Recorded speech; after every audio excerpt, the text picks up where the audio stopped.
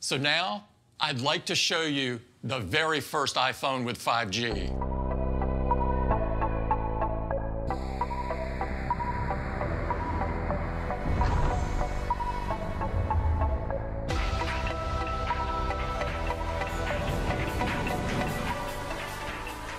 Pewien białostocki filozof powiedział kiedyś, że iPhone'a najlepiej wymieniać co najmniej co dwie generacje. Co prawda tym filozofem jestem ja, więc nie powinno się wierzyć w to powiedzenie, ale trochę prawdy tutaj jednak jest. I najlepiej to widać właśnie po nowych iPhone'ach, które są bardzo fajne, jeżeli nie macie zeszłorocznego iPhone'a.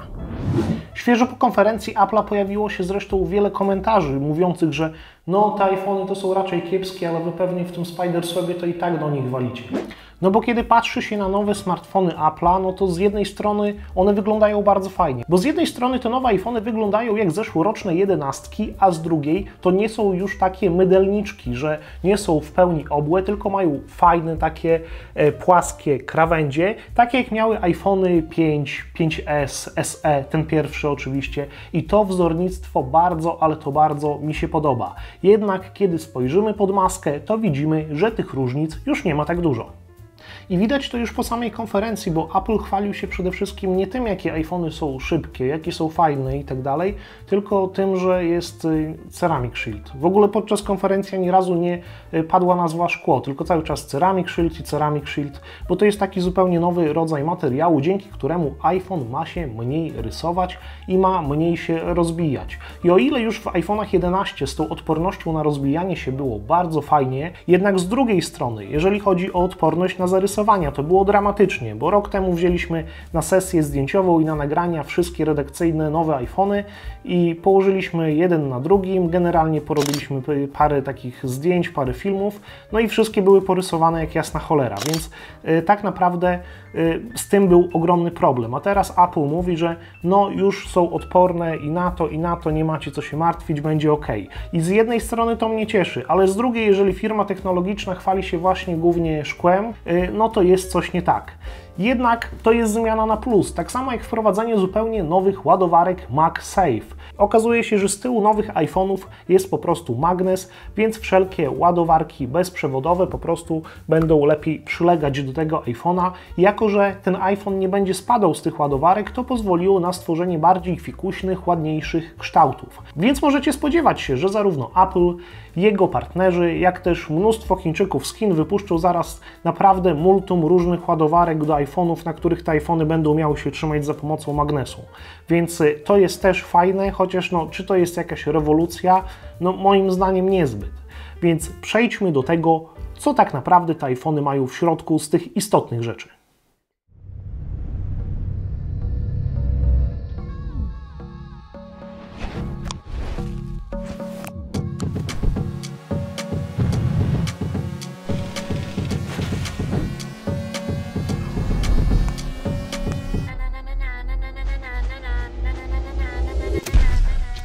No i na początku warto powiedzieć, że te rzeczy, o których mówiłem przed chwilą, dotyczą wszystkich iPhone'ów 12, czyli czterech iPhone'ów, bo mamy iPhone'a 12, iPhone'a 12 mini, iPhone'a 12 Pro oraz iPhone'a 12 Pro Max. To tak naprawdę można powiedzieć, że są dwa modele i każdy w dwóch różnych rozmiarach i z małymi zmianami, ale zaraz przez to też przejdziemy. Na początek iPhone 12. No i kiedy patrzycie na iPhone'a 12, to po prostu widzicie nieślubne dziecko iPhone'a 11 oraz iPhone'a SE. Może iPhone 11 lubi starszych i mniejszych, nie wiemy. Jednak, jeżeli chodzi o funkcje, o możliwości, jest bardzo podobnie jak w iPhone'ie 11. Jeżeli chodzi o to, co znajduje się w iPhone'ie 12, to przede wszystkim nowy procesor Apple A14 Bionic. Ile jest RAMu? Nie wiemy. Jaki jest akumulator? Nie wiemy, bo Apple się nie podzielił jeszcze tymi informacjami. Warto za to więcej powiedzieć o ekranie, bo mamy tutaj w końcu w tanim, w tańszym iPhone'ie ekran 6,1 cala, czyli tak jak było, ale jest to OLED, czyli to, czego w sumie nie było. I mamy tutaj w końcu OLED o wysokiej rozdzielczości, bo niektóre osoby narzekały na tą rozdzielczość w iPhone 11, że ona jest jak w średniopółkowcach. Tamten ekran wyglądał ok, ale patrząc na parametry, jestem przekonany, że ten ekran w iPhone 12 będzie wyglądał znacznie, ale to znacznie lepiej, więc to zdecydowanie na plus.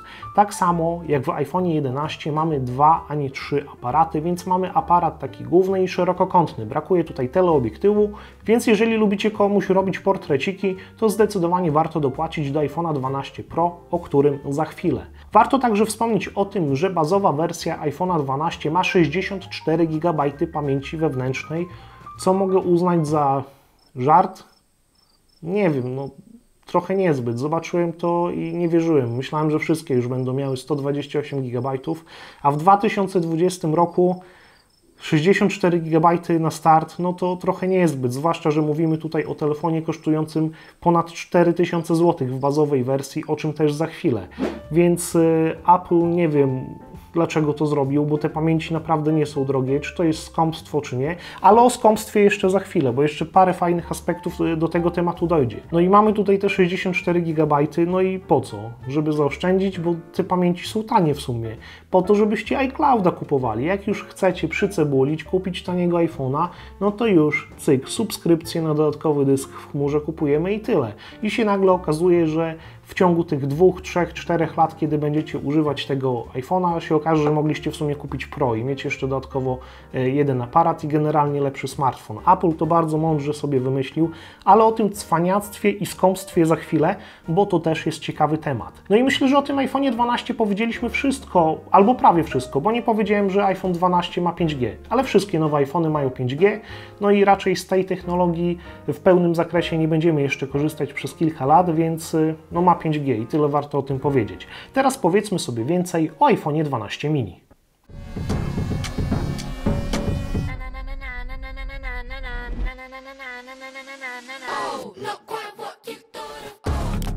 Bo jeżeli chodzi o iPhone 12 mini, to mamy tak naprawdę iPhone 12 tylko mini mniejszy w sensie będzie.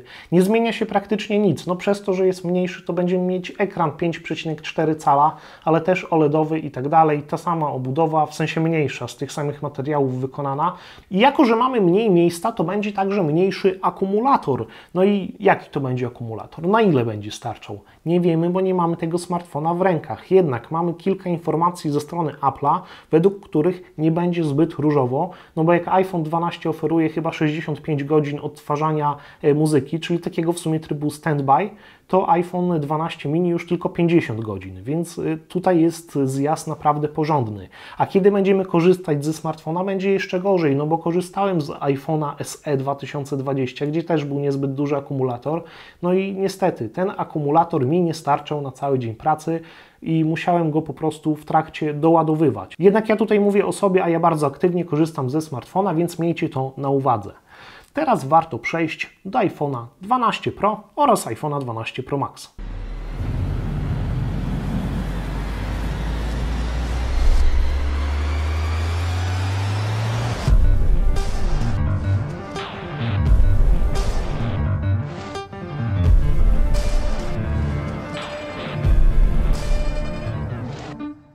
Jeżeli zaś chodzi o iPhone'a 12 Pro, to jest taki iPhone 11 Pro na sterydach. Naprawdę, bo jest troszeczkę większy.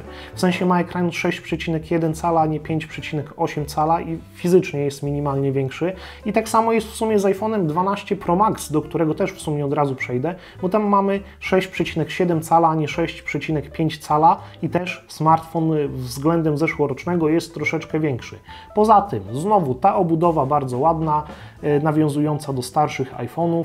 E, mamy procesor Apple A14 Bionic, Jaki RAM, jaki akumulator, to tutaj już y, Apple nie mówi, no bo po co, będzie trzeba się do tego samemu dogrzebać za kilka dni albo więcej czasu. No i tak naprawdę to tyle, bo mamy jeszcze trzy aparaty, w sensie 3 plus LIDAR, czyli ten aparat jeszcze do badania przestrzeni.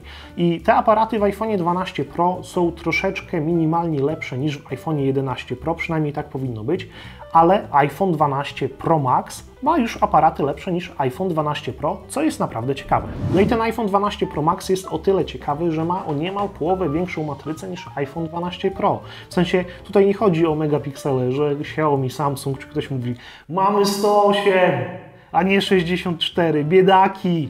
Nie, po prostu matryca jest większa, zbiera więcej światła, czyli te fotki, zwłaszcza w ciemności, będą lepsze, będą bardziej szczegółowe i mimo, że nie miałem tych smartfonów w ręku, to ja już wiem, że te różnice będzie po prostu widać we wszystkich testach. Ale to mi się w sumie nie podoba. W sensie cieszę się, że ten iPhone największy ma bardzo fajny aparat, ale czemu Apple zdecydował się, żeby tego aparatu bardzo fajnego nie dawać do iPhone'a 12 Pro? No nie każdy chce mieć paletkę do ping-ponga po to, żeby mieć najlepsze aparaty. I teraz mamy do wyboru, że albo kupujemy sztandarowy smartfon za ciężkie pieniądze yy, i mamy mm, fajne aparaty, albo troszeczkę dopłacamy i mamy naprawdę mega aparaty, yy, ale mamy też telefon w zbyt dużym rozmiarze dla wielu osób. No bo jednak wyróżnikiem iPhone'a było to, że Apple jako jedyny producent tych normalnych rozmiarów, nie takich paletkowych, się trzymał. Więc w sumie cieszę się, że ten iPhone 12 Pro Max ma fajny aparat, no ale czemu 12 Pro już go nie ma? To była taka tradycja, że te mniejsze smartfony, też cholernie drogie, ale mniejsze, mają te najlepsze aparaty. A tutaj, no niestety, szkoda. I tak już trochę podsumowując, zanim przejdziemy do cen, chciałem powiedzieć też troszeczkę o tym, czego brakuje, no bo czemu te nowe iPhony nie mają portu USB-C, tak jak na przykład iPady Pro? No ja tego nie rozumiem. Czemu oni się trzymają tego Lightninga tak długo, kiedy to jest moim zdaniem bezsensowne. Ten standard w końcu i tak będzie musiał upaść, a Apple tylko patrzy, żeby jak najwięcej na akcesoriach wyciągnąć od ludzi. Nie damy otwartego standardu, bo jeszcze pójdą sobie kabel za 5 dolarów kupił, a nie za 20. A czego jeszcze nie damy? Ładowarki i słuchawek. No bo po co? No bo w iPhone'ach 12 i 11 w sumie też nie będzie już ani tych, ani tych akcesoriów. W sensie, jeżeli gdzieś leży iPhone 11 Pro w jakimś Media Expercie, Media Markcie czy gdzieś indziej, no to pracownik nie będzie z niego specjalnie wyciągał tych akcesoriów, żebyś miał gorzej. Ale jeżeli teraz zamówisz iPhone'a 11 albo 12 ze sklepu Apple'a, to już dostaniesz go bez tych akcesoriów. A dlaczego? No bo ekologia, no bo chcemy, żeby świat był bardziej zielony, żeby było lepiej, żeby po prostu no, nie marnować tej naszej planety, bo to będzie naprawdę, jeżeli wywalimy te wszystkie ładowarki, to tak jakby 450 tysięcy samochodów było mniej po prostu na świecie. To jest bardzo ważne. A tak naprawdę chodzi o to, żeby sprzedać po prostu te ładowarki oddzielnie. Już Wam tłumaczę dlaczego. Bo w końcu, po latach namawiania, Apple zdecydował się dołożyć do swoich iPhone'ów kable USB-C Lightning, czyli to, co powinno być dawno, bo to jedyne kable pozwalające na szybkie ładowanie iPhone'a. Ja za taki kabel dwa lata temu musiałem u Apple'a płacić 130 zł. Autentycznie, bo inne tego nie wspierały. I teraz ten kabel jest w zestawie. To na plus. Tylko czy to jest przypadek, że wtyczka kabelka zmienia się akurat wtedy, kiedy Apple pozbywa się ładowarek? No moim zdaniem nie, no i to jest po prostu wykalkulowane, że no zmieniamy kabelek, będzie zupełnie inny, będzie w pudełku, ładowarki nie dajemy, bo ekologia, a jak ktoś chce ładowarkę, to proszę do sklepu iść, 99 zł, no i tyle. Najśmieszniejsze jest to, że Apple faktycznie mówi, że no oni wywalają te ładowarki, bo każdy ma przecież ładowarkę w domu. Tylko nie każdy ma ładowarkę z USB-C, każdy ma ładowarkę z tym starym USB. Więc z dwojga złego to już bym wolał, żeby dawali ten stary kabel, bo ten dałoby się faktycznie podłączyć do starej ładowarki. Więc albo zasłaniamy się ekologią, albo robimy biznes. Nie da się robić tego i tego, bo wychodzi śmiesznie po prostu, tak jak teraz. No i jeszcze nie ma ekranu 120 Hz w żadnym iPhone'ie. Apple niby do końca go testował, ale się wycofali z tego i ja nie rozumiem troszeczkę. Bo Apple mówi, że no my nie wdrażamy tego, bo mało kto to zauważy. Okej, okay, fajnie, to dlaczego to rozwiązanie jest w iPadach Pro? Ktoś powie, bo są Pro, ale iPhony też są Pro.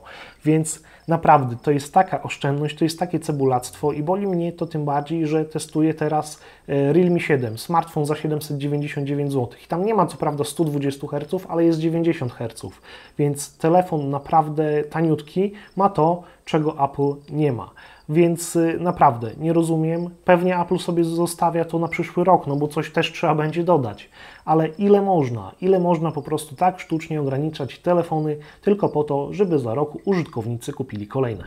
No i teraz przechodzimy do cen. Zacznę trochę od drugiej strony, no bo zacznę od iPhone'a 12 Pro oraz iPhone'a 12 Pro Max, bo iPhone 12 Pro w bazowej wersji, czyli 128 GB, to się powiększyło, będzie kosztował 5199 zł. iPhone 12 Pro Max w bazowej bazowej wersji 128 GB będzie kosztował 5699 zł, a jeżeli chodzi o iPhone'a 12 i 12 mini, to jest no już nie do końca tak różowo, bo iPhone 12 mini kosztuje 3599 zł, a kiedy przeliczamy tę jego cenę, czyli 699 dolarów, przeliczymy to sobie najpierw e, na, z dolarów na złotówki, dodamy VAT i tak dalej i wychodzi, że ten iPhone powinien kosztować z 3200 zł, a u nas kosztuje 3600 zł, co jest jakimś kuriozum, absurdem i w ogóle nie wiem, dymaniem użytkownika, mogę tak to nazwać.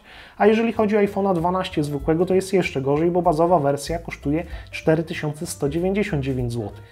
I mamy tutaj 64 GB, przypominam. Więc jeżeli ktoś chce mieć normalną pamięć, dopłaca jeszcze sobie dwie stówki do e, 128 GB i już można się zacząć zastanawiać, czy na pewno warto kupić tego iPhone'a 12, czy może jednak dopłacić do wersji Pro, bo jednak te Pro będzie lepsze.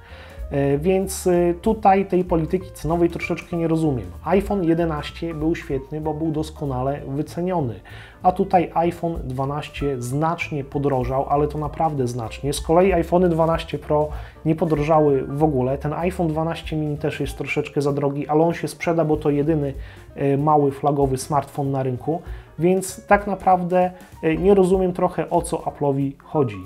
Więc iPhone 12 Pro bardzo fajny smartfon. iPhone 12 Pro Max podejrzewam, że to będzie smartfon z najlepszym aparatem na rynku. iPhone 12 mini. Jedyny sztandarowy mały smartfon na rynku też sprzeda się doskonale.